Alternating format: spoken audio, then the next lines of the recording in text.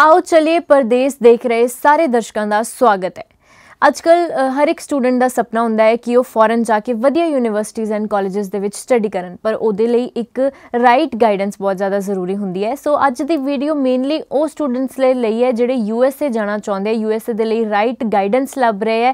ਪਰ ਮਾਰਕੀਟ ਦੇ ਵਿੱਚ ਅਸੀਂ ਦੇਖਦੇ ਹਾਂ ਕਿ ਸਾਨੂੰ ਕਾਫੀ ਜ਼ਿਆਦਾ ਮੁਸ਼ਕਿਲ ਹੁੰਦਾ ਹੈ ਕਿਸੇ ਕੰਸਲਟੈਂਟ ਤੇ ਭਰੋਸਾ ਕਰਨਾ, ਕਿਉਂਕਿ ਕਈ ਸਾਰੇ ਫਰਾਡ ਦੇ ਮਾਮਲੇ ਸਾਹਮਣੇ ਆਉਂਦੇ ਆ ਅਸੀਂ ਆਪਣਾ ਕਈ ਸਾਰਾ ਪੈਸਾ ਵੀ ਗਵਾ ਬੈਠਦੇ ਹਾਂ, ਲੇਕਿਨ ਫਿਰ ਵੀ ਆਪਣੀ ਮੰਜ਼ਿਲ ਤੱਕ ਨਹੀਂ ਪਹੁੰਚ ਪਾਉਂਦੇ। ਸੋ ਅੱਜ ਸਾਡੇ ਨਾਲ ਯੂਨੀਫਾਈਡ ਐਜੂਕੇਸ਼ਨ ਕੰਸਲਟੈਂਟਸ ਤੋਂ ਮਿਸਟਰ ਭੁਵਨ ਸੋਂਦੀ ਜੀ ਜੁੜ ਚੁੱਕੇ ਨੇ ਤੇ ਉਹਨਾਂ ਨਾਲ ਗੱਲਬਾਤ ਕਰਾਂਗੇ ਤੇ ਕਈ ਯੂਐਸਏ ਨੂੰ ਲੈ ਕੇ ਜੋ ਸਟੂਡੈਂਟਸ ਦੀਆਂ ਕੁਐਰੀਜ਼ ਹੁੰਦੀਆਂ ਨੇ ਉਹਨਾਂ ਨੂੰ ਕਲੀਅਰ ਕਰਾਂਗੇ ਤੇ ਹੋਰ ਵੀ ਕਈ ਸਾਰੀ ਇਨਫੋਰਮੇਸ਼ਨ ਜਿਹੜੀ ਹੈ ਉਹਨਾਂ ਤੋਂ ਲਵਾਂਗੇ। Sat Sri Akal sir welcome to R show thank you ma'am thank you so much so sir ਸਭ ਤੋਂ ਪਹਿਲਾਂ ਤੇ ਇਹ ਪੁੱਛਣਾ ਚਾਹੂੰਗੀ ਮੇਨਲੀ ਤੁਸੀਂ ਕਿਹੜੀ ਕਿਹੜੀ ਕੰਟਰੀ ਦੇ ਵਿੱਚ ਡੀਲ ਕਰਦੇ ਹੋ?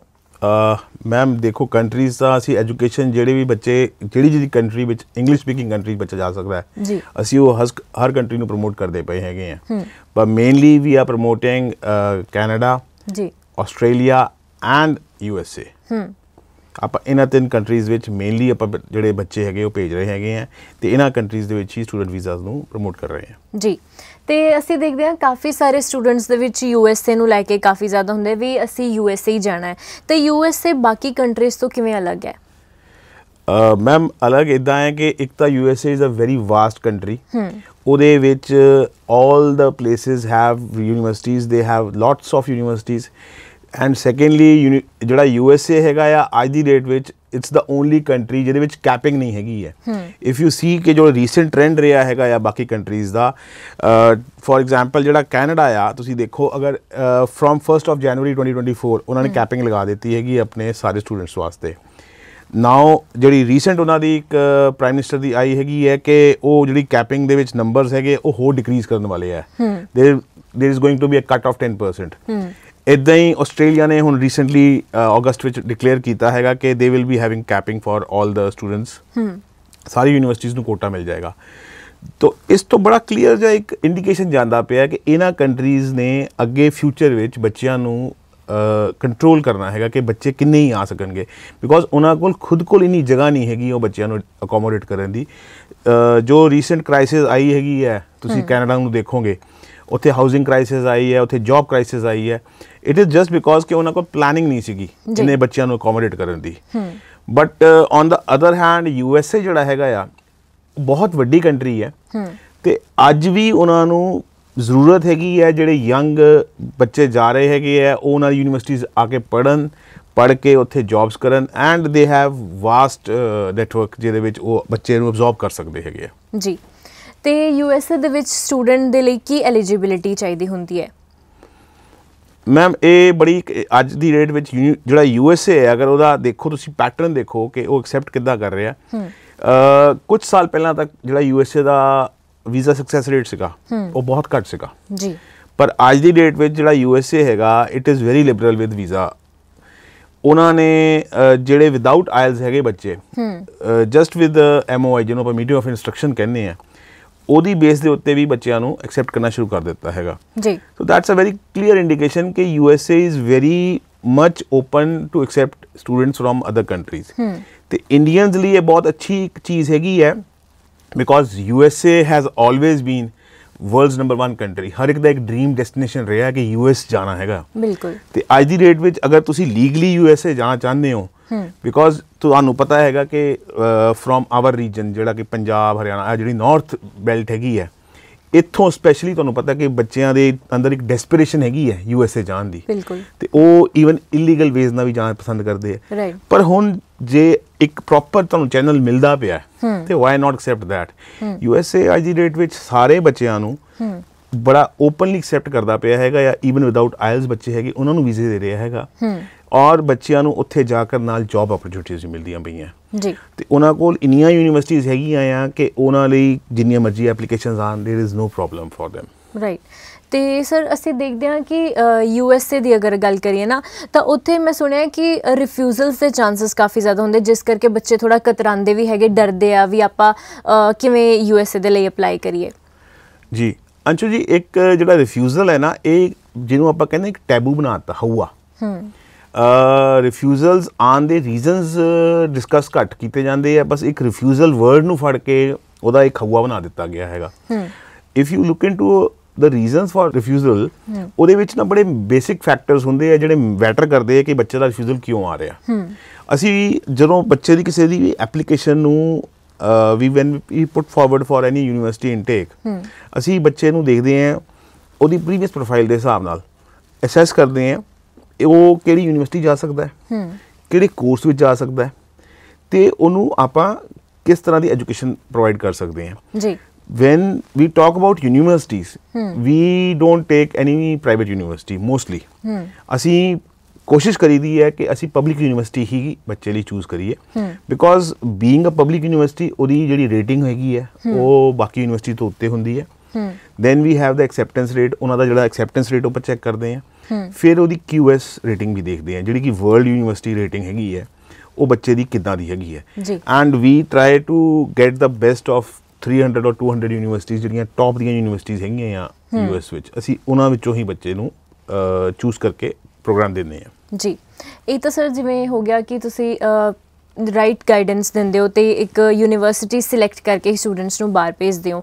ਬਟ ਸਟੂਡੈਂਟਸ ਦੇ ਵਿੱਚ ਇੱਕ ਇਹ ਵੀ ਕਾਫੀ ਜ਼ਿਆਦਾ ਯੂਐਸਏ ਨੂੰ ਲੈ ਕੇ ਹੈ ਵੀ ਯੂਐਸਏ ਦੇ ਵਿੱਚ ਇੰਟਰਵਿਊ ਕਾਫੀ ਜ਼ਿਆਦਾ ਮੈਟਰ ਕਰਦੀ ਹੈ ਕਿਉਂਕਿ ਇੰਟਰਵਿਊ ਦੇਣੀ ਪੈਂਦੀ ਤੇ ਕਾਫੀ ਸਾਰੇ ਬੱਚੇ ਇਕੱਤਰ ਆਉਂਦੇ ਆ ਤਾਂ ਉਹਨੂੰ ਕਿਵੇਂ ਆਪਾਂ ਦੂਰ ਕਰ ਸਕਦੇ ਹਾਂ? ਅੰਸ਼ੂ ਜੀ, ਬੜਾ ਤੁਸੀਂ ਵਧੀਆ ਇੱਕ ਕੁਐਸਚਨ ਪੁੱਛਿਆ ਹੈ ਜਿਹੜਾ ਕਿ ਅੱਜ ਦੀ ਡੇਟ ਸ਼ਾਇਦ ਹਰ ਬੱਚਾ ਜਾਣਨਾ ਚਾਹੁੰਦਾ ਹੈ। ਤੇ ਮੈਂ ਸਟੂਡੈਂਟਸ ਨੂੰ ਦੱਸਣਾ ਚਾਹਾਂਗਾ ਕਿ ਤੁਸੀਂ ਇੰਟਰਵਿਊ ਤੋਂ ਡਰਨਾ ਨਹੀਂ ਹੈਗਾ।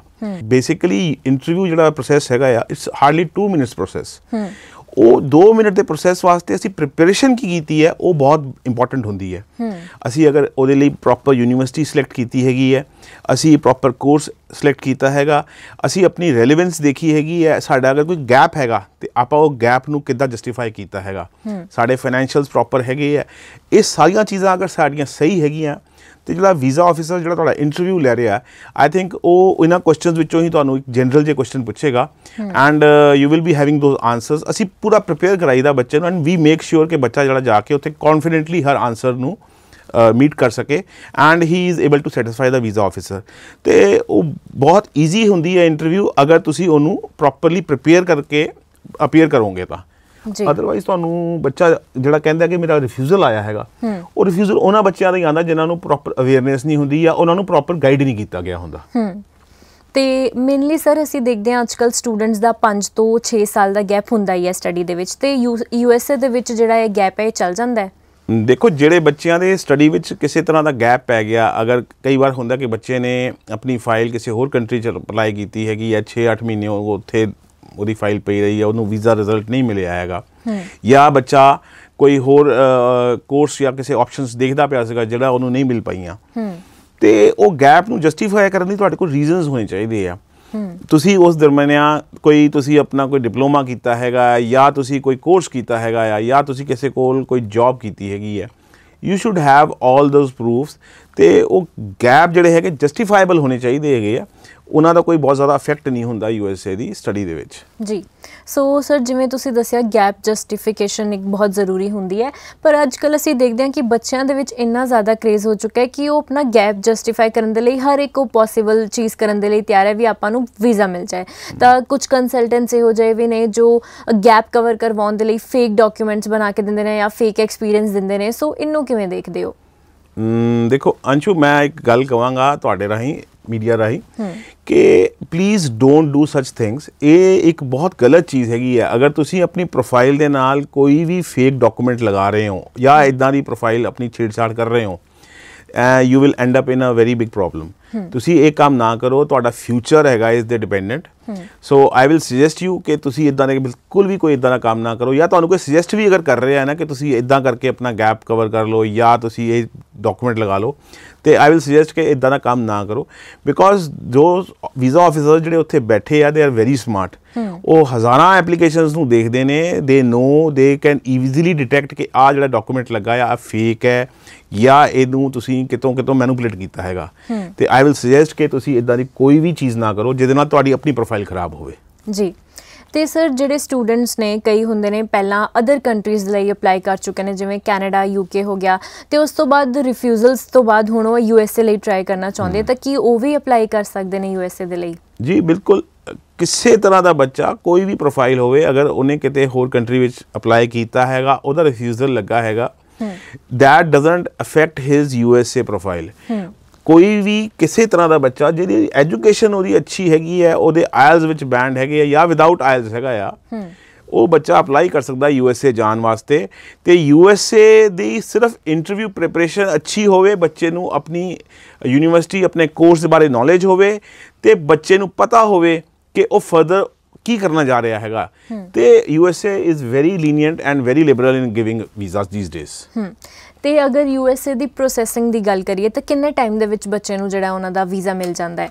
ਦੇਖੋ ਯੂਐਸਏ ਜਿਹੜਾ ਪ੍ਰੋਸੈਸਿੰਗ ਟਾਈਮ ਹੈਗਾ ਇੱਕ ਵੀਜ਼ਾ ਐਪਲੀਕੇਸ਼ਨ ਦਾ ਉਹ ਆਪਾਂ ਲੈ ਕੇ ਚੱਲੀਏ ਕਿ 2 ਤੋਂ 2.5 ਮਹੀਨੇ ਅੰਦਰ ਈਜ਼ੀਲੀ ਬੱਚੇ ਨੂੰ ਵੀਜ਼ਾ ਮਿਲ ਜਾਂਦਾ ਹੈ। ਜੀ। ਜਿਹੜੀ ਆਫਰ ਲੈਟਰ ਹੈਗੀ ਆ ਆਪਾਂ ਅਰਾਊਂਡ 5 ਟੂ 7 ਡੇਜ਼ ਵਿੱਚ ਬੱਚੇ ਦੀ ਕਿਸੇ ਦੀ ਬੱਚੇ ਦੀ ਲੈ ਲਈਦੀ ਹੈ ਡਿਪੈਂਡਿੰਗ ਔਨ ਦਾ ਯੂਨੀਵਰਸਿਟੀ ਅੱਛੀ ਯੂਨੀਵਰਸਿਟੀ ਜਿਹੜੀਆਂ ਕਈ ਵਾਰ ਟਾਈਮ ਜ਼ਿਆਦਾ ਲਗਾ ਦੇਣੀਆਂ and we try to apply in a government university ਉਹਨਾਂ ਵਿੱਚ ਹਫਤਾ ਵੀ ਲੱਗ ਜਾਂਦਾ ਹੈ 10 ਡੇਜ਼ ਵੀ ਲੱਗ ਜਾਂਦੇ ਹੈਗੇ ਆ ਉਸ ਤੋਂ ਬਾਅਦ ਉਹਨਾਂ ਦੀ I20 ਆਂਦੀ ਹੈ।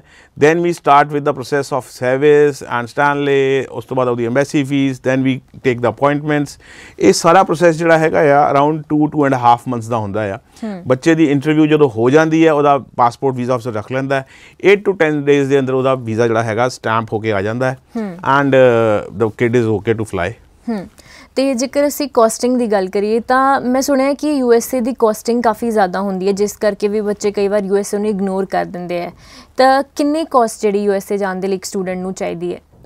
ਅ ਨਹੀਂ ਇਦਾਂ ਦਾ ਕੁਝ ਵੀ ਨਹੀਂ ਹੈਗਾ ਆ ਕਿ ਜਿਹੜਾ ਤੁਸੀਂ ਕਹਿ ਰਹੇ ਹੋ ਕਿ ਕਾਸਟਿੰਗ ਜ਼ਿਆਦਾ ਹੈਗੀ ਹੈ। ਕਾਸਟਿੰਗ ਰਾਦਰ ਯੂਐਸਏ ਦੀ ਬਹੁਤ ਹੀ ਕਮ ਹੈ। ਅੱਛੀ ਯੂਨੀਵਰਸਿਟੀਜ਼ ਅਗਰ ਤੁਸੀਂ ਜਾ ਰਹੇ ਹੋ you can get scholarship also ਤੁਹਾਨੂੰ ਸਕਾਲਰਸ਼ਿਪ ਦੇ ਨਾਲ ਜਿਹੜੀ ਫੀਸ ਹੈ ਉਹ ਇਨੀਸ਼ੀਅਲ ਫੀਸ ਤੁਸੀਂ ਬਹੁਤ ਘੱਟ around 10 to 11 lakh rupees maybe lower than that in some cases ਕੁਝ ਕੋਰਸਸ ਵਿੱਚ ਉਸ ਤੋਂ ਵੀ ਘੱਟ ਹੈਗੀ ਅਰਾਊਂਡ 7 ਲੱਖ ਵੀ ਹੋਊਗੀ। ਤੁਸੀਂ ਇੰਨੀ ਫੀਸ ਦੇ ਕਰ ਵੀ ਯੂ ਐਸ ਏ ਜਾ ਸਕਦੇ ਹੈਗੇ ਹੋ। ਤੇ ਅਗਰ ਦੇਖਿਆ ਜਾਵੇ compare to any other country beat ਜਿੱਦਾਂ ਦਾ ਯੂਕੇ ਹੈਗਾ ਆ ਜਾਂ ਆਸਟ੍ਰੇਲੀਆ ਹੈਗਾ ਜਾਂ ਕੈਨੇਡਾ ਹੈਗਾ ਫॉर ਦੈਟ ਮੈਟਰ ਇੰਨੀ ਤਾਂ ਕੈਨੇਡਾ ਵਿੱਚ ਜੀ ਐਸ ਸੀ ਹੀ ਜਾ ਰਹੀ ਹੈ। ਤੇ ਇੱਕ ਸਭ ਤੋਂ ਘੱਟ ਫੀਸ ਵਿੱਚ ਜਾਣ ਵਾਸਤੇ ਇੱਕ ਯੂ ਐੱਸ ਏ ਬਹੁਤ ਅੱਛੀ ਆਪਸ਼ਨ ਹੈਗੀ ਹੈ। ਅਗਰ ਤੁਹਾਡੇ ਕੋਲ ਬਹੁਤ ਘੱਟ ਪੈਸੇ ਵੀ ਹੈਗੇ, ਤਾਂ ਵੀ ਤੁਸੀਂ ਯੂ ਐਸ ਏ ਜਾ ਕੇ ਪੜ੍ਹ ਸਕਦੇ ਹੋ। ਜੀ। ਸੋ ਸਰ ਜਿਵੇਂ ਕਿ ਯੂਐਸਏ ਦੇ ਵਿੱਚ ਯੂਨੀਵਰਸਿਟੀ ਸਿਲੈਕਸ਼ਨ ਕਾਫੀ ਜ਼ਿਆਦਾ ਜ਼ਰੂਰੀ ਹੁੰਦਾ ਹੈ ਪਰ ਕਈ ਸਾਰੇ ਏਜੰਟਸ ਇਹੋ ਜਿਹੇ ਹੁੰਦੇ ਆ ਜੋ ਬੱਚਿਆਂ ਨੂੰ ਮਿਸਗਾਈਡ ਕਰ ਦਿੰਦੇ ਆ ਜਾਂ ਉਹਨਾਂ ਨੂੰ ਪਹਿਲਾਂ ਕੋਈ ਹੋਰ ਯੂਨੀਵਰਸਿਟੀ ਦੱਸ ਕੇ ਪ੍ਰਾਈਵੇਟ ਕਾਲਜਸ ਦੇ ਵਿੱਚ ਭੇਜ ਦਿੰਦੇ ਨੇ। ਸੋ ਸਟੂਡੈਂਟਸ ਨੂੰ ਇਹਦੇ ਲਈ ਕੀ ਕਰਨਾ ਚਾਹੀਦਾ ਕਿਵੇਂ ਉਹਨਾਂ ਨੂੰ ਪਤਾ ਲੱਗੇ ਕਿ ਉਹਨਾਂ ਦੇ ਲਈ ਕਿਹੜੀ ਯੂਨੀਵਰਸਿਟੀ ਰਾਈਟ ਹੈਗੀ ਹੈ? ਹਾਂ ਇਹ ਇੱਕ ਬਹੁਤ ਅੱਜ ਦੀ ਡੇਟ ਵਿੱਚ ਮੈਂ ਦੇਖਿਆ ਹੈਗਾ ਸਾਡੇ ਕੋਲ ਵੀ ਇਵਨ ਬੱਚੇ ਆਂਦੇ ਆ। ਬੱਚਿਆਂ ਨੂੰ ਕਹਿ ਦਿੱਤਾ ਜਾਂਦਾ ਜੀ ਤੁਹਾਨੂੰ ਇੱਕ ਦਿਨ ਦੇ ਅੰਦਰ ਤੁਹਾਡੀ ਆਫਰ ਆ ਜਾਊਗੀ i20 ਆ ਜਾਊਗੀ 4-5 ਦਿਨ ਦੇ ਅੰਦਰ। ਉਹ basically they are applying in private universities or colleges ਜਿਹੜੇ ਕਿ ਇਵਨ ਬਲੈਕ ਲਿਸਟਡ ਹੁੰਦੇ ਆ ਉਹਨਾਂ ਵਿੱਚੋਂ ਬੱਚਿਆਂ ਨੂੰ ਦੇ ਕੇ ਆਫਰਸ ਉਹਨਾਂ ਨੂੰ ਕਹਿ ਦਿੰਦੇ ਕਿ ਤੁਸੀਂ ਆਪਣੀ ਇਨੀ ਪੇਮੈਂਟ ਦੇ ਦਿਓ। ਉਸ ਬੱਚੇ ਦਾ ਰਿਜ਼ਲਟ ਹੀ ਜਿਹੜਾ ਸਾਨੂੰ ਪਤਾ ਹੁੰਦਾ ਕਿ ਇਹਦਾ ਪੋਜ਼ਿਟਿਵ ਰਿਜ਼ਲਟ ਆ ਹੀ ਨਹੀਂ ਸਕਦਾ ਬਿਕੋਜ਼ ਉਹ ਯੂਨੀਵਰਸਿਟੀਜ਼ ਹੀ ਬਲੈਕ ਲਿਸਟਡ ਹੁੰਦੀਆਂ ਆ। ਤੇ ਅਸੀਂ ਹਮੇਸ਼ਾ ਸੁਜੈਸਟ ਕਰਦੇ ਹਾਂ ਕਿ ਬੱਚੇ ਨੂੰ you go and search the university ਜਿਹੜੀ ਤੁਹਾਨੂੰ ਆਪਾਂ ਸੁਜੈਸਟ ਕਰਾਂਗੇ we will not uh, put your application in one university. ਅਸੀਂ ਤਿੰਨ ਤੋਂ ਚਾਰ ਯੂਨੀਵਰਸਿਟੀਜ਼ ਜਾਂ ਕਾਲਜਸ ਲੈ ਕੇ ਚੱਲਦੇ ਹੈਗੇ ਆ ਤੇ ਉਹਨਾਂ ਵਿੱਚੋਂ ਆਪਾਂ ਦੇਖਦੇ ਹਾਂ ਰੈਂਕਿੰਗ ਦੇ ਹਿਸਾਬ ਨਾਲ ਕੋਰਸ ਰੈਲੇਵੈਂਸੀ ਦੇ ਹਿਸਾਬ ਨਾਲ ਇਨਟੇਕ ਦੇ ਹਿਸਾਬ ਨਾਲ ਕਿ ਬੈਸਟ ਕਿਹੜੀ ਉਹ ਬੱਚੇ ਲਈ ਰਹੇਗੀ। ਤੇ ਆਪਾਂ ਉਸੇ ਵਿੱਚ ਬੱਚੇ ਨੂੰ ਸੁਜੈਸਟ ਕਰਦੇ ਹੈਗੇ ਕਿ you should go in this particular university ਜੀ। ਉਹ ਯੂਨੀਵਰਸਿਟੀ ਨੂੰ ਆਪਾਂ ਸਿਲੈਕਟ ਕਰਨ ਦਾ ਸਾਡਾ ਜਿਹੜਾ ਮੇਨ ਕ੍ਰਾਈਟੇਰੀਆ ਰਹਿੰਦਾ ਹੈ। ਉਹ ਬੇਸਿਕਲੀ ਰਹਿੰਦਾ ਹੈ ਕਿ ਉਹਦਾ ਐਕਸੈਪਟੈਂਸ ਰੇਟ ਰੇਟ ਕੀ ਹੈਗਾ ਆ। ਤੇ ਉਹ ਉਸ ਦਾ ਕੀ ਉਹਦੀ ਰੇਟਿੰਗ ਆਂਦੀ ਪਈ ਹੈਗੀ ਹੈ ਯੂਨੀਵਰਸਿਟੀ ਦੀ। ਜੀ। ਉਹਦੀ ਬੇਸ ਦੇ ਉੱਤੇ ਅਸੀਂ ਬੱਚੇ ਨੂੰ ਯੂਨੀਵਰਸਿਟੀ ਸੁਜੈਸਟ ਕਰਦੇ ਹੈਗੇ ਆ। ਐਂਡ ਯੂਨੀਵਰਸਿਟੀ ਦੀ ਬੇਸ ਦੇ ਉੱਤੇ ਹੀ ਵੀਜ਼ਾ ਆਂਦਾ ਹੈਗਾ। ਹਮ ਤੇ ਯੂਐਸਏ ਦੇ ਵਿੱਚ ਸਰ ਫੰਡਸ ਦਾ ਕੀ ਕ੍ਰਾਈਟੇਰੀਆ ਰਹਿੰਦਾ ਹੈ? ਜਿਵੇਂ ਕੈਨੇਡਾ ਦੇ ਵਿੱਚ ਸਾਨੂੰ ਕੁਝ ਪਾਰਟਿਕੂਲਰ ਫੰਡ ਸ਼ੋ ਕਰਨੇ ਪੈਂਦੇ ਆ। ਮੈਮ ਇਦਾਂ ਹੈ ਕਿ ਜਿਹੜਾ ਬੱਚਾ ਯੂਐਸਏ ਜਾਂਦਾ ਪਿਆ ਹੈਗਾ ਆ ਕੈਨੇਡਾ ਤਾਂ ਆਪਣੀ ਜੀਆਈਸੀ ਲੈ ਲੈਂਦਾ ਹੈ। ਉਹਨਾਂ ਦਾ ਕੋਈ ਇਹਦਾ ਕ੍ਰਾਈਟੇਰੀਆ ਨਹੀਂ ਹੈਗਾ ਕਿ you need to show funds ਪਰ ਯੂਐਸਏ ਕੀ ਹੈਗਾ ਉਹ ਕਹਿੰਦਾ ਹੈ ਕਿ ਅਗਰ ਤੁਸੀਂ ਐਜੂਕੇਸ਼ਨ ਵਾਸਤੇ ਆ ਰਹੇ ਹੋ ਤੇ how you are showing funds ਤੁਹਾਨੂੰ ਇੱਕ ਬੇਸਿਕਲੀ 35 ਟੂ 40 ਲੱਖਸ ਦੀ ਸਟੇਟਮੈਂਟ ਚਾਹੇ ਉਹ ਤੁਸੀਂ 2 ਦਿਨ ਪੁਰਾਣੀ ਵੀ ਹੋਵੇ ਯੂਐਸਏ ਐਕਸੈਪਟਸ ਥੈਟ ਤੁਹਾਡੇ ਕੋਲ ਜੈਨੂਇਨ ਫੰਡਸ ਪਏ ਆ ਤੁਹਾਡੇ ਅਕਾਊਂਟ ਵਿੱਚ ਤੁਸੀਂ ਜਦੋਂ ਜਾ ਰਹੇ ਹੋ you should take those statements and you can show it to the visa officer or easily accept ਹੋ ਜਾਂਦੀ ਹੈਗੀ ਹੈ। ਉਸ ਦੀ ਬੇਸ ਦੇ ਉੱਤੇ ਤੁਹਾਨੂੰ ਵੀਜ਼ਾ ਮਿਲ ਜਾਂਦਾ ਹੈਗਾ। ਜੀ। ਤੁਸੀਂ ਬਾਕੀ ਫੀਸ ਜਿਹੜੀ ਹੈਗੀ ਹੈ ਉਹ ਜਿੰਨੀ ਵੀ ਫੀਸ ਯੂਨੀਵਰਸਿਟੀ ਦੀ ਲਿਖੀ ਹੁੰਦੀ ਹੈ ਉਹ ਤੁਸੀਂ ਜਮ੍ਹਾਂ ਕਰਾਣੀ ਹੁੰਦੀ ਹੈ। ਜੀ। ਤੇ ਯੂ ਐਸ ਏ ਦੇ ਵਿੱਚ ਆਇਲਸ ਐਂਡ ਪੀਟੀ ਦੀ ਵੀ ਕੋਈ ਲੋੜ ਹੁੰਦੀ ਹੈ ਜਾਂ ਇਸ ਤੋਂ ਵਿਦਆਊਟ ਵੀ ਸਟੂਡੈਂਟਸ ਜਿਹੜੇ ਉਹ ਜਾ ਸਕਦੇ ਆ ਬਿਲਕੁਲ। ਯੂ ਐਸ ਏ ਦੇ ਵਿੱਚ ਆਇਲਸ ਅਗਰ ਤੁਹਾਡੇ ਕੋਲ ਹੈਗੇ ਆ 6 ਬੈਂਡ ਹੈਗੇ ਆ 6.5 ਹੈਗੇ ਆ ਉਹਦੀ ਬੇਸ ਦੇ ਉੱਤੇ ਤੁਹਾਨੂੰ ਯੂਨੀਵਰਸਿਟੀਆਂ ਥੋੜੀਆਂ ਬੈਟਰ ਹੋਰ ਮਿਲ ਸਕਦੀਆਂ ਹੈਗੀਆਂ। ਅਗਰ ਤੁਹਾਡੇ ਕੋਲ ਆਇਲਸ ਜਾਂ ਪੀਟੀ ਨਹੀਂ ਹੈਗੀ ਹੈ ਤੁਸੀਂ ਕੋਈ ਇੰਗਲਿਸ਼ ਲੈਂਗੁਏਜ ਕੋਰਸ ਨਹੀਂ ਕੀਤਾ ਹੋਇਆ ਤੁਸੀਂ ਤਦ ਵੀ ਅਪਲਾਈ ਕਰ ਸਕਦੇ ਹੋ ਬੇਸਿਸ ਆਫ MOI ਕੁਝ ਟਾਪ ਰੇਟਡ ਯੂਨੀਵਰਸਿਟੀਆਂ ਹੈਗੀਆਂ ਆ ਜਿਹੜੀਆਂ ਲਿਖਦੀਆਂ ਆਪਣੀ ਵੈਬਸਾਈਟ ਦੇ ਉੱਤੇ ਕਿ we accept applications on basis of MOI because ਤੁਹਾਡੇ ਅਕੈਡਮਿਕਸ ਅਗਰ ਨੰਬਰ ਬਹੁਤ ਅੱਛੇ ਹੈਗੇ ਆ ਤੁਹਾਡੀ ਐਜੂਕੇਸ਼ਨ ਅੱਛੀ ਹੈਗੀ ਹੈ ਉਸ ਬੇਸ ਦੇ ਉੱਤੇ ਤੁਹਾਡੀ ਐਪਲੀਕੇਸ਼ਨ ਜਿਹੜੀ ਹੈਗੀ ਐਕਸੈਪਟ ਹੋ ਜਾਂਦੀ ਹੈ ਤੇ ਉਸ ਬੇਸ ਦੇ ਉੱਤੇ ਤੁਹਾਨੂੰ ਆਫਰ ਮਿਲ ਜਾਂਦੀ ਹੈ ਈਜ਼ੀਲੀ ਤੇ ਤੁਸੀਂ ਅਪਲਾਈ ਕਰ ਸਕਦੇ ਹੋ। ਅੱਜਕੱਲ ਸਰ ਅਸੀਂ ਦੇਖਦੇ ਹਾਂ ਕਾਫੀ ਕੇਸਿਸ ਆਉਂਦੇ ਨੇ ਕਿ ਸਟੂਡੈਂਟਸ ਦੇ ਨਾਲ ਠੱਗੀ ਕੀਤੀ ਜਾਂਦੀ ਹੈ ਫਰਾਡ ਕੀਤੇ ਜਾਂਦੇ ਨੇ ਉਹਨਾਂ ਨੂੰ ਬਾਹਰ ਭੇਜਣ ਦੇ ਚਾਂਸੇ ਦਿੱਤੇ ਜਾਂਦੇ ਨੇ ਪਰ ਫਿਰ ਵੀ ਸਟੂਡੈਂਟ ਬਾਹਰ ਨਹੀਂ ਪਹੁੰਚ ਪਾਉਂਦਾ ਤੇ ਉਹਦੇ ਪੈਸੇ ਵੀ ਚਲੇ ਜਾਂਦੇ ਨੇ। ਸੋ ਸਟੂਡੈਂਟ ਇੱਕ ਕੰਸਲਟੈਂਟ ਤੇ ਕਿਵੇਂ ਵਿਸ਼ਵਾਸ ਕਰੇ ਕਿ ਇਹ ਰਾਈਟ ਗਾਈਡੈਂਸ ਸਾਨੂੰ ਦੇ ਸਕਦੇ ਨੇ ਕਿ ਇਹ ਰਾਈਟ ਸੋਰਸ ਹੈ? ਦੇਖੋ ਮੈਂ ਸਾਰੇ ਸਟੂਡੈਂਟਸ ਨੂੰ ਇੱਕੋ ਹੀ ਗੱਲ ਕਹਿਣਾ ਹੈ ਚਾਹੇ ਸਾਡੇ ਕੋਲ ਆਉਂਦੇ ਆ ਜਾਂ ਕਿਤੇ ਵੀ ਜਾਂਦੇ ਨੇ ਮੈਂ ਹਮੇਸ਼ਾ ਬੱਚਿਆਂ ਨੂੰ ਕਹਿੰਦਾ ਮੈਂ ਕਿ ਤੁਸੀਂ ਕਿਸੇ ਵੀ ਕੰਸਲਟੈਂਟ ਕੋ ਜਾ ਰਹੇ ਹੋ ਨਾ ਤੁਸੀਂ ਉਹਦੀ ਆਥੈਂਟਿਸਿਟੀ ਜ਼ਰੂਰ ਚੈੱਕ ਕਰੋ। ਜੀ। ਕੋਈ ਵੀ ਕੰਸਲਟੈਂਟ ਹੈਗਾ ਆ ਤੁਸੀਂ ਦੇਖੋ ਕਿ ਹਾਊ 올ਡ ਹੀ। ਇਜ਼ ਜਿੱਥੇ ਬੈਠਾ ਹੈ ਉਹਨੂੰ ਉੱਥੇ ਕਿੰਨੀ ਦੇਰ ਹੋ ਗਈ ਹੈ। ਆਸ-ਪਾਸ ਤੋਂ ਪਤਾ ਕਰ ਪਰ ਕਰ ਸਕਦੇ ਹੋ ਤੁਸੀਂ ਕਿ ਆਸ-ਪਾਸ ਦੇ ਲੋਕ ਤੁਹਾਨੂੰ ਦੱਸ ਦੇਣਗੇ ਕਿ ਇਹ ਬੰਦਾ ਕਿੰਨਾ ਜੈਨੂਇਨ ਹੈਗਾ ਆ। ਉਹਦਾ ਪ੍ਰੋਪਰ ਲਾਇਸੈਂਸ ਬਣਿਆ ਹੋਇਆ ਕਿ ਨਹੀਂ ਬਣਿਆ ਹੋਇਆ। ਜੀ। ਫਿਰ ਤੁਸੀਂ ਇਹ ਵੀ ਦੇਖ ਸਕਦੇ ਹੈਗੇ ਕਿ ਟੈਸਟਮੋਨੀਅਲਸ ਉਹਦੇ ਕੋਲ ਕਿੰਨੀਆਂ ਹੈਗੀਆਂ ਪੁਰਾਣੇ ਬੱਚਿਆਂ ਦੀਆਂ। ਹੂੰ। ਥਰਡ ਥਿੰਗ ਇਜ਼ ਤੁਸੀਂ ਕਿਸੇ ਵੀ ਏਜੰਟ ਕੋ ਜਾਂ ਕਿਸੇ ਵੀ ਕੰਸਲਟੈਂਟ ਕੋ ਜਾ ਰਹੇ ਹੋ ਮੇਰੀ ਸਾਰੇ ਸਟੂਡੈਂਟਸ ਨੂੰ ਇੱਕ ਸਲਾਹ ਹੈਗੀ ਹੈ ਕਿ ਤੁਸੀਂ ਪੜ੍ਹੇ ਲਿਖੇ ਸਟੂਡੈਂਟਸ ਹੋ। You are students you are educated ਠੀਕ ਹੈ? ਤੁਸੀਂ ਅਨਐਜੂਕੇਟਡ ਨਹੀਂ ਹੈਗੇ ਹੋ। ਤੇ ਤੁਸੀਂ ਅਗਰ ਪੜ੍ਹੇ ਲਿਖੇ ਹੋ ਇੰਨਾ ਤੁਹਾਨੂੰ ਸਮਝ ਹੋਣੀ ਚਾਹੀਦੀ ਹੈ ਕਿ ਜਦੋਂ ਕੋਈ ਕੰਸਲਟੈਂਟ ਤੁਹਾਡਾ ਪ੍ਰੋਸੈਸ ਕਰ ਰਿਹਾ ਉਹ ਤੁਹਾਡੇ ਨਾਲ ਕਿੰਨਾ ਟਰਾਂਸਪੇਰੈਂਟ ਹੋ ਕੇ ਉਸ ਪ੍ਰੋਸੈਸ ਨੂੰ ਸ਼ੇਅਰ ਕਰ ਰਿਹਾ ਹੈਗਾ।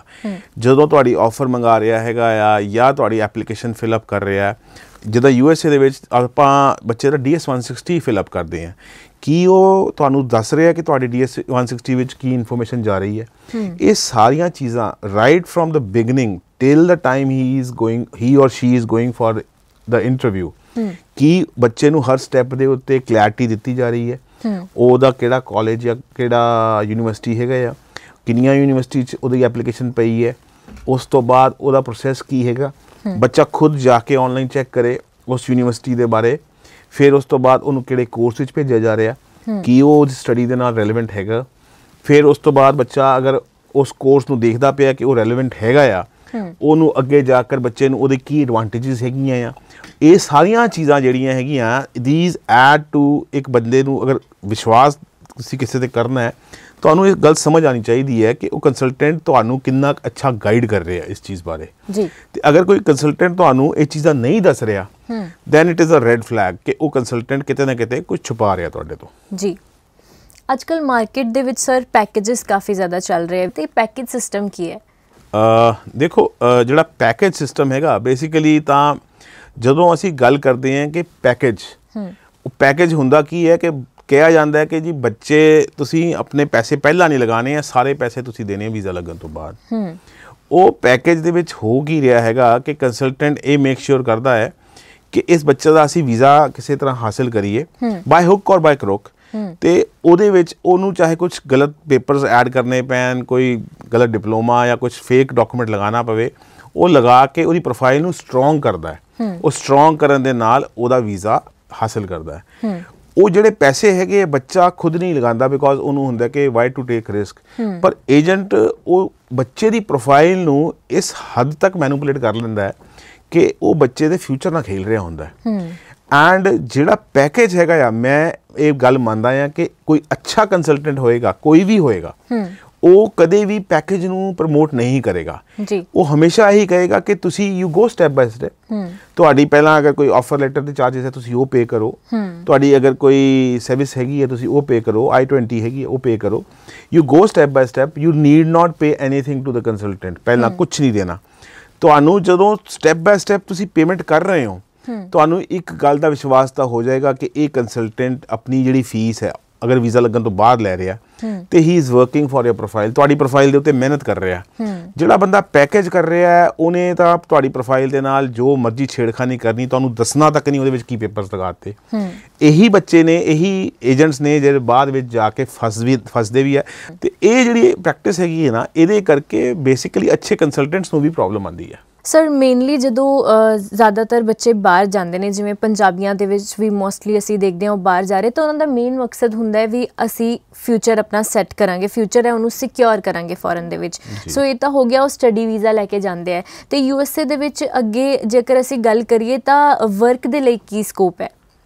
ਅ, ਅੰਸ਼ੂ ਜੀ ਦੇਖੋ ਐਦਾਂ ਹੈ ਕਿ ਜਿਹੜਾ ਯੂ ਐਸ ਏ ਨੇ ਹੁਣ ਲੇਟੈਸਟ ਅਪਡੇਟ ਦਿੱਤਾ ਹੈਗਾ ਪਹਿਲਾਂ ਉਹ ਸਿਰਫ ਮਾਸਟਰਸ ਕੋਰਸਸ ਦੇ ਵਿੱਚ 3 ਇਅਰਸ ਵਰਕ ਪਰਮਿਟ ਦੇ ਰਹੇ ਸੀਗੇ। ਪਰ ਹੁਣ ਰੀਸੈਂਟ ਅਪਡੇਟ ਜਿਹੜਾ ਆਇਆ ਯੂ ਐਸ ਦਾ ਉਹ ਆਇਆ ਸਟੈਮ ਕੋਰਸਸ ਵਿੱਚ ਅਗਰ ਗ੍ਰੈਜੂਏਸ਼ਨ ਤੁਸੀਂ ਕਰ ਰਹੇ ਹੋ STEM is science technology engineering and mathematics ਇਹ ਅਗਰ ਇਹਨਾਂ ਕੋਰਸਸ ਵਿੱਚ ਵੀ ਤੁਸੀਂ ਅਗਰ ਜਾ ਰਹੇ ਹੋ ਤੇ ਤੁਹਾਨੂੰ ਨਾਲ 3 ਸਾਲ ਦਾ ਵਰਕ ਪਰਮਿਟ ਮਿਲ ਰਿਹਾ। ਸੋ ਬੜਾ ਕਲੀਅਰ ਇੰਡੀਕੇਸ਼ਨ ਹੈਗਾ ਕਿ U S A is very open ਕਿ ਉਹ ਚਾਹੁੰਦਾ ਹੈ ਕਿ ਬੱਚੇ ਜਿਹੜੇ ਹੈਗੇ ਉਹਨਾਂ ਦੀ ਕੰਟਰੀ ਵਿੱਚ ਆਣ ਤੇ ਨਾਲ ਦੇ ਨਾਲ ਉਹ ਵਰਕ ਵੀ ਕਰ ਸਕਦੇ ਨੇ। ਜੀ। ਜਿਹੜੀਆਂ ਅੱਛੀਆਂ ਯੂਨੀਵਰਸਿਟੀਆਂ ਪਬਲਿਕ ਯੂਨੀਵਰਸਿਟੀਆਂ ਹੈਗੀਆਂ ਉਹਨਾਂ ਦੇ ਤਾਂ ਕੈਂਪਸਸ ਹੀ ਬਹੁਤ ਵੱਡੇ ਨੇ। 2-200 3-300 ਏਕੜ ਦੇ ਕੈਂਪਸ ਹੈਗੇ ਆ।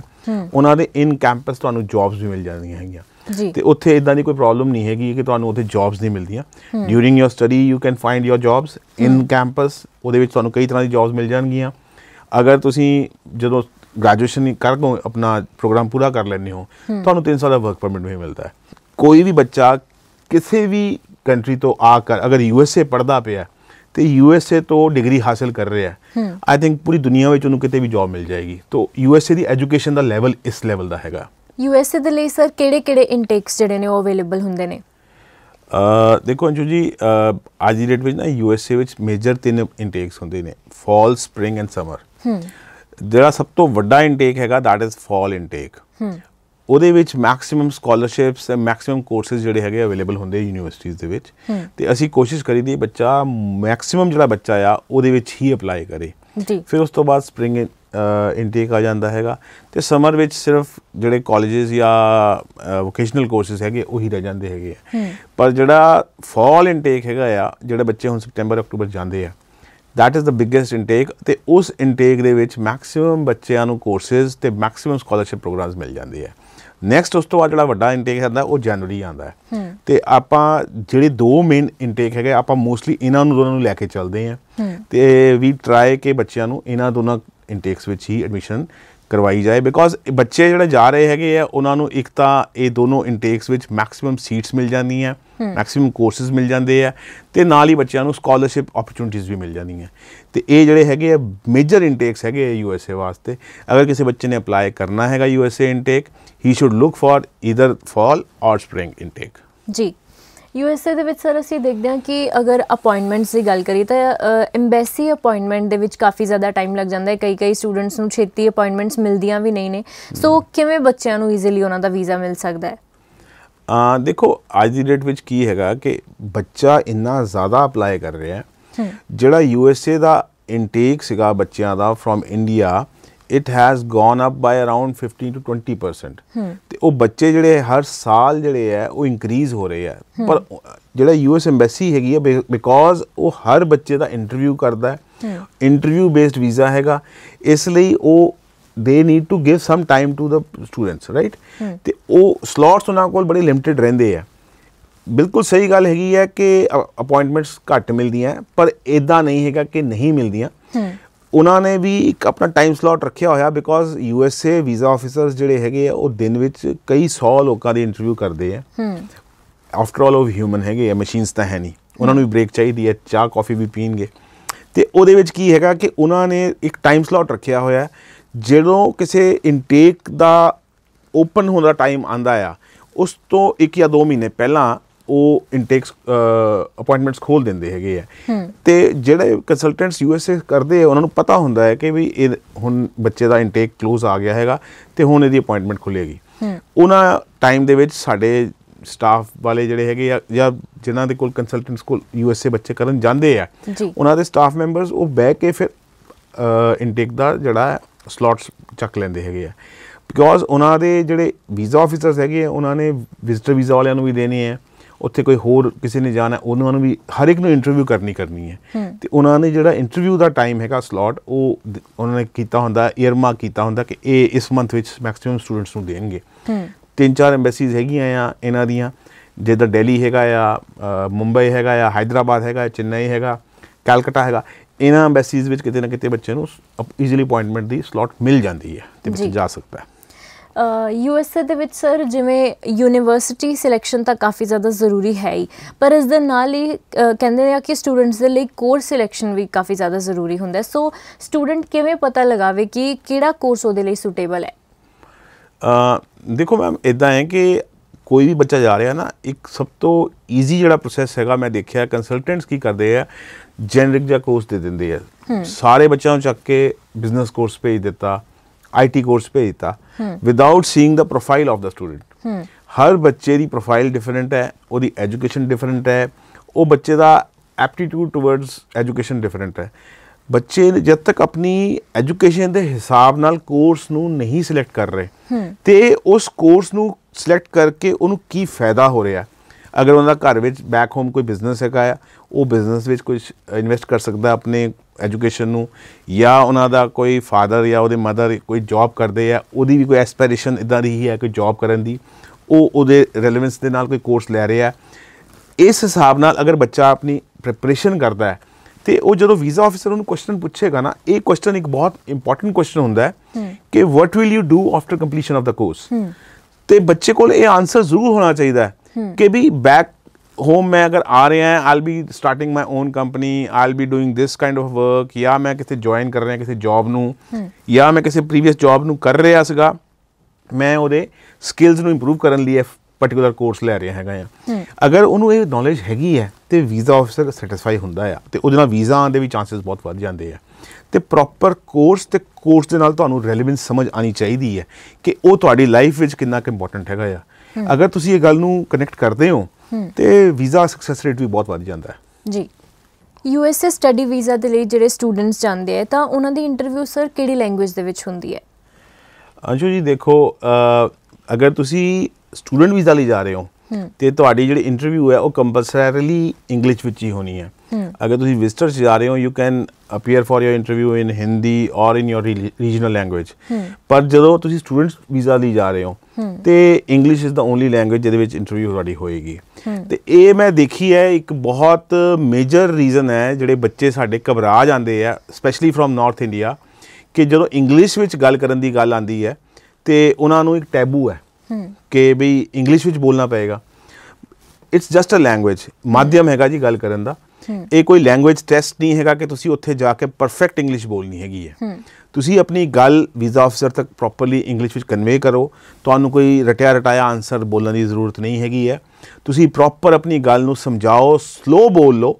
ਪਰ ਉਹਨੂੰ ਆਪਣੀ ਗੱਲ ਸਮਝਾ ਸਕੋ ਤੇ ਇੰਗਲਿਸ਼ ਲੈਂਗੁਏਜ ਕੋਈ ਇੰਨੀ ਵੱਡੀ ਕੋਈ ਚੀਜ਼ ਨਹੀਂ ਹੈਗੀ ਕਿ ਤੁਸੀਂ ਨਹੀਂ ਬੋਲ ਸਕਦੇ। ਤੁਸੀਂ ਪਲੱਸ 2 ਪਾਸ ਜਾਂ ਤੁਸੀਂ ਗ੍ਰੈਜੂਏਟਸ ਹੈਗੇ ਹੋ ਇੰਗਲਿਸ਼ 'ਚ ਪੜ੍ਹੇ ਹੈਗੇ ਹੋ ਇਹ ਤਾਂ ਸਿੰਪਲ 2 ਮਿੰਟ ਦੀ ਜਿਹੜੀ ਕਨਵਰਸੇਸ਼ਨ ਹੈਗੀ ਹੈ ਉਹਦੇ ਵਿੱਚੋਂ ਹੀ ਸ਼ਾਇਦ 1 ਮਿੰਟ ਤਾਂ ਤੁਹਾਡੇ ਵੀਜ਼ਾ ਅਫਸਰ ਨੇ ਤੁਹਾਡੇ ਨਾਲ ਗੱਲ ਕਰਨੀ 1 ਮਿੰਟ ਹੀ ਤੁਸੀਂ ਬੋਲਣਾ ਹੈਗਾ।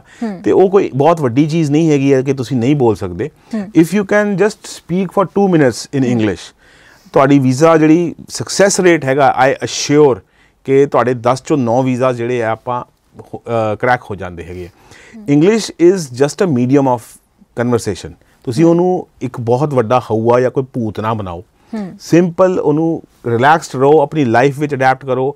ਬਿਫੋਰ ਇੰਟਰਵਿਊ ਤੁਸੀਂ ਥੋੜਾ ਜਿਹਾ ਇੰਗਲਿਸ਼ ਨਿਊਜ਼ਪੇਪਰਸ ਪੜ੍ਹੋ ਇੰਗਲਿਸ਼ ਚੈਨਲਸ ਵਿੱਚ ਦੇਖੋ। ਟਰਾਈ ਟੂ ਅੰਡਰਸਟੈਂਡ ਕਿ ਇੰਗਲਿਸ਼ ਵਿੱਚ ਤੁਹਾਨੂੰ ਕੋਈ ਕੁਝ ਅਗਰ ਕੋਈ ਗੱਲ ਕਰ ਰਹੇ ਹੈ ਤਾਂ ਉਹ ਸਮਝਣ ਦੀ ਕੋਸ਼ਿਸ਼ ਕਰੋ।